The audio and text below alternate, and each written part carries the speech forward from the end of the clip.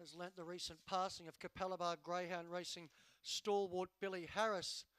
And uh, Billy was a proud member of the Capalaba Club for up to 60 years, served as a club president and also as the president of the Queensland Greyhound Breeders and Owners and Trainers Association. His funeral will be next Thursday on the 6th of June at the Capalaba Club, Billy Harris. Just about set to go and away. Rover's Way began only fairly. The favourite TB Good flew the lids and dashed three lengths clear early from giving chase Rover's Way quickly. TB Good ran off the track and roll railing up was Rover's Way to dash four clear from TB Good. Third Stroganoff, then Who's Hope. After that was Kenate, Lady Opal, Magic Dancer and Big Trigger. But in the straight, it's all Rover's Way. Favourite dashes clear and Rover's Way will score. Second was Who's Hope and Magic Dancer charged home for third.